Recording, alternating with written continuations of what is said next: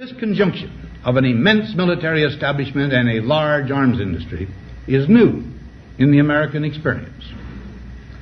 The total influence, economic, political, even spiritual, is felt in every city, every state house, every office of the federal government. We recognize the imperative need for this development, yet we must not fail to comprehend its grave implications. Our toil, resources, and livelihood are all involved. So is the very structure of our society.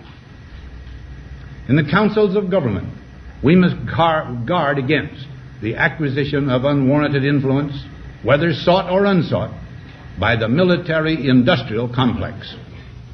The potential for the disastrous rise of misplaced power exists and will persist. We must never let the weight of this combination endanger our liberties or democratic processes. We should take nothing for granted.